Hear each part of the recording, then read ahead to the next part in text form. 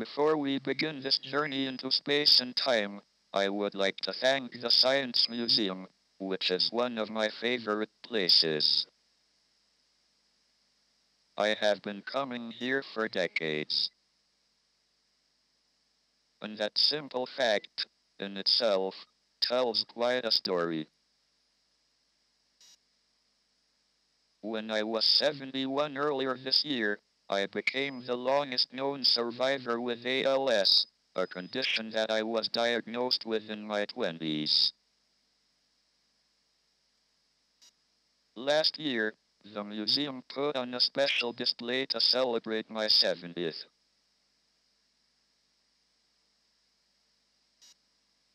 It was a remarkable moment when I came to see it, and hundreds of people sang happy birthday to me. The museum put me in touch again with David Hockney. Hockney had drawn a portrait of me once before, in 1978, when he produced several line drawings. This time he produced an iPad portrait.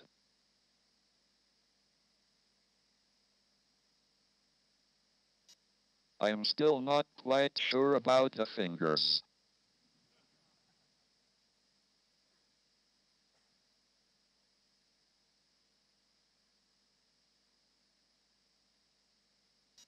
Throughout my life, I have had a gambling problem.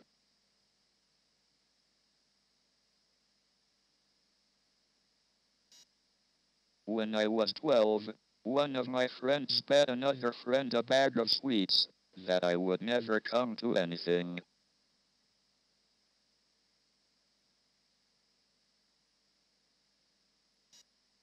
I don't know if this bet was ever settled, and if so, which way it was decided. I had six or seven close friends, and we used to have long discussions and arguments about everything, from radio-controlled models to religion.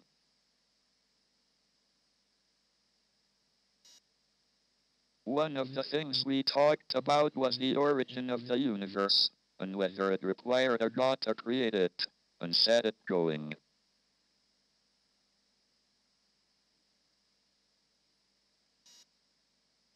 I had heard that light from distant galaxies was shifted towards the red end of the spectrum, and this was supposed to indicate that the universe was expanding.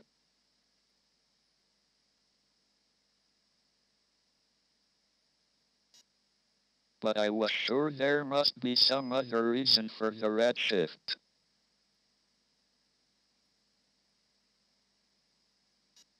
Maybe light got tired and more red, on its way to us.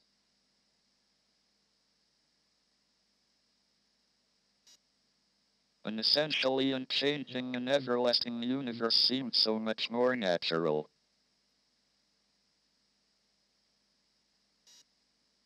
It was only after the discovery of the cosmic microwave background, about two years into my PhD research, that I realized I had been wrong. General relativity predicted that the universe should have a beginning. Up to 1970, my main research interest was in the Big Bang singularity of cosmology, rather than the singularities or black holes that Penrose had shown would occur in collapsing stars. My work on black holes began with the Eureka moment, a few days after the birth of my daughter. Lucy. While getting into bed, I realized that I could apply to black holes the causal structure theory I had developed for singularity theorems. In particular, the area of the horizon, the boundary of the black hole, would always increase. When two black holes collide and merge, the area of the final black hole is greater than the sum of the areas of the original holes. This suggested that the area of a black hole was like what is called the entropy in thermodynamics. It would be a measure of how many states a black hole could have on the inside for the same appearance on the outside. But the area couldn't actually be the entropy, because as everyone thought they knew, black holes were completely black and couldn't be in equilibrium with thermal radiation. There was a golden age in which we solved most of the major problems in black hole theory. This was before there was any observational evidence for black holes.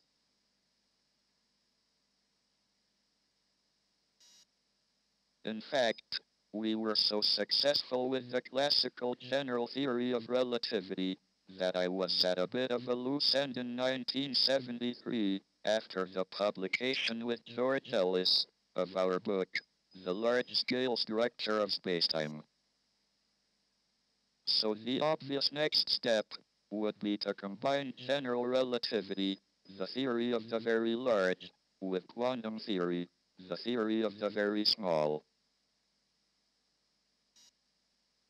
I had no background in quantum theory, and the singularity problem seemed too difficult for a frontal assault at that time.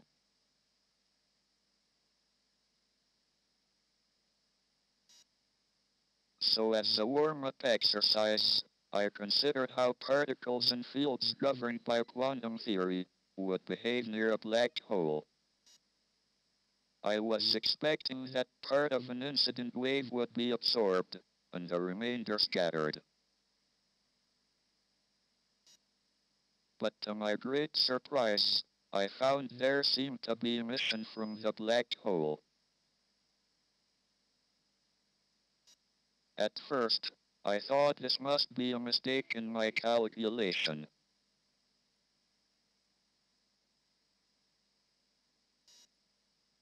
But what persuaded me that it was real was that the emission was exactly what was required to identify the area of the horizon with the entropy of a black hole.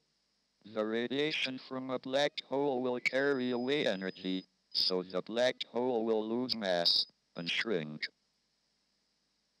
Eventually, it seems the black hole will evaporate completely and disappear. This raised a problem that struck at the heart of physics.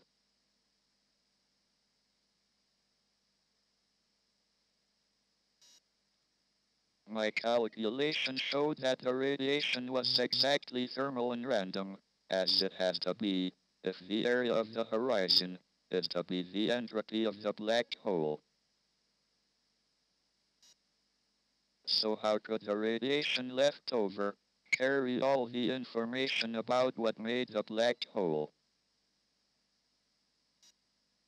But if information is lost, this is incompatible with quantum mechanics. This paradox had been argued for 30 years, without much progress, which is what often happens in research.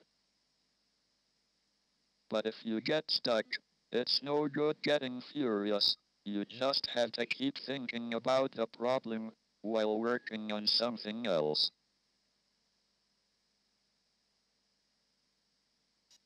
Eventually, I found what I think is its resolution.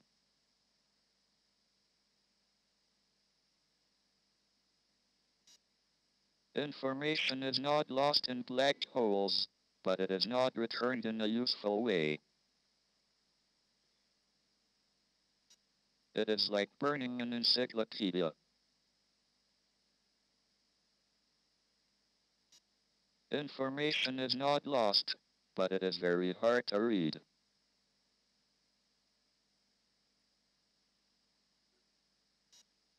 In fact, Kip Thorne and I had a bet with John Preskill on the information paradox.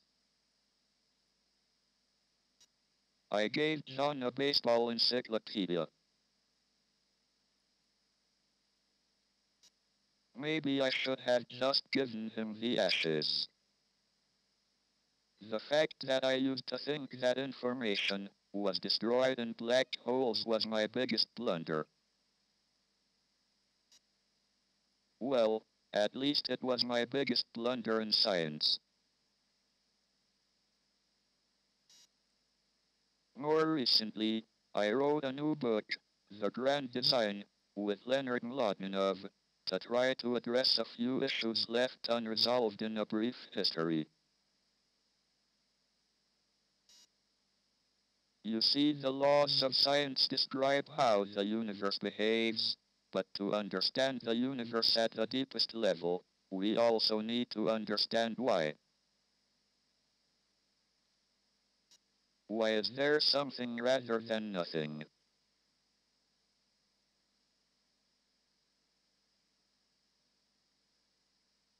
Why do we exist?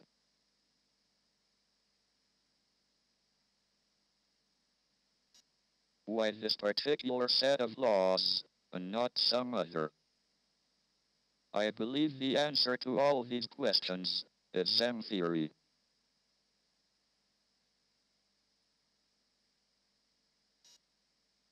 M theory is the only unified theory which has all the properties that we think the final theory ought to have.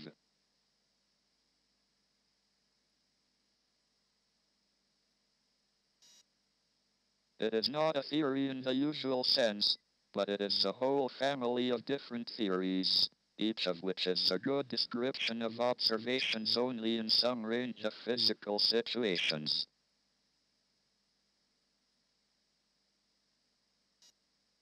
M theory predicts that a great many universes were created out of nothing.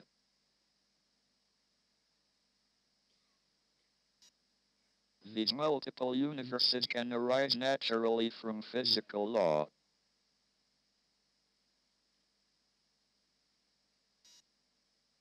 Each universe has many possible histories and many possible states at later times, that is, at times like the present, long after their creation. Most of these states will be quite unlike the universe we observe, and quite unsuitable for the existence of any form of life.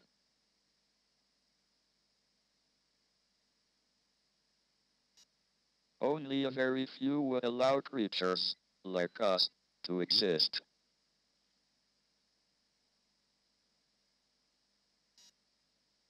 Thus our presence selects out from this vast array only those universes that are compatible with our existence.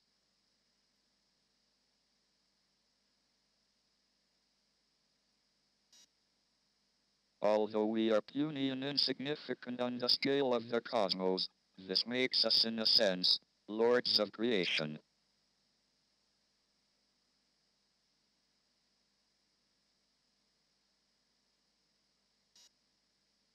There is still hope that we see the first evidence for M theory at the LHC particle accelerator in Geneva.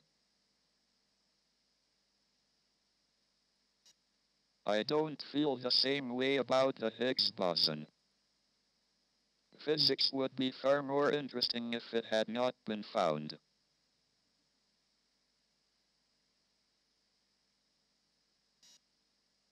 A few weeks ago, Peter Higgs and Francois Englert shared the Nobel Prize for their work on the boson, and they richly deserved it.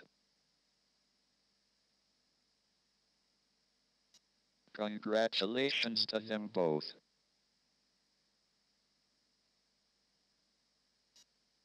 But the discovery of the new particle came at a personal cost.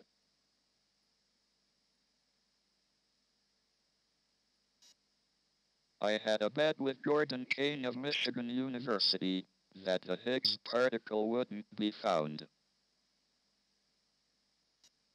The Nobel Prize cost me $100. Most recent advances in cosmology have been achieved from space, where there are uninterrupted views of our vast and beautiful universe.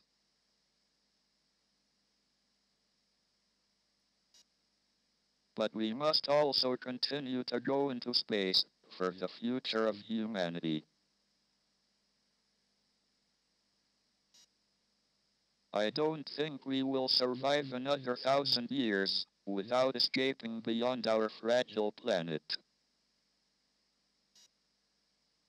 I therefore want to encourage public interest in space, and I've been getting my training in early. So let me finish by reflecting on the state of the universe.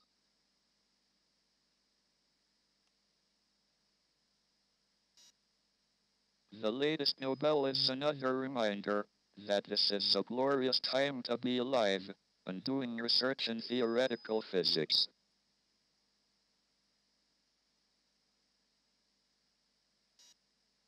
Our picture of the universe has changed a great deal in the last 50 years, and I'm happy if I have made a small contribution.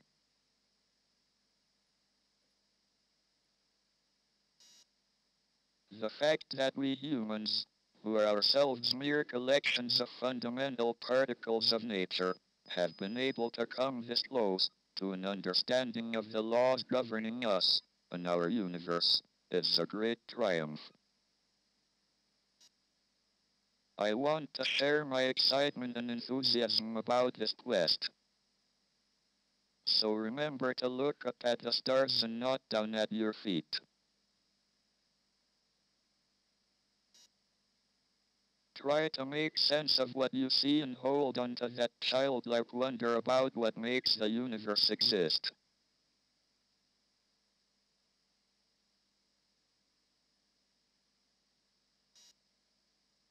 I also hope that the Science Museum's smashing new Collider exhibition will help satisfy our boundless curiosity about our place in the universe. Thank you for listening.